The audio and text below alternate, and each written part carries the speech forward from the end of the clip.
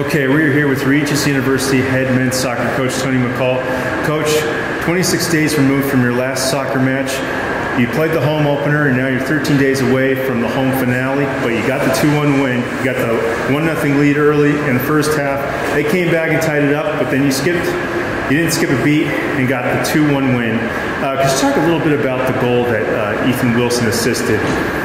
Yeah, I, I thought second half we were uh, thought we were very poor in the second half.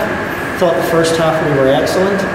Um, Metro came out second half and uh, put some pressure on us and got on top of us, got an equaliser, and we scored a very nice goal. Ball got played out to Ethan, who knocked it into the middle, and uh, Christian Hooker was there to head it in. So it was a very well. Uh, it was the goal was good. Um, we were very pleased that we actually responded that way after going, uh, you know, after them tying it up. Yeah, talk a little bit more about Christian Hooker because he had both an assist and a goal. You know, he's a he's a senior. He's a you know you can see how he plays. He's a big, robust, uh, very athletic player. You know, he's dangerous because he just you know he puts defenders under pressure and uh, has such a great work rate.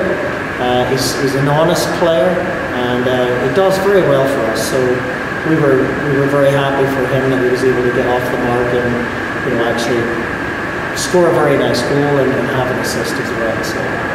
Thank you very much, Coach.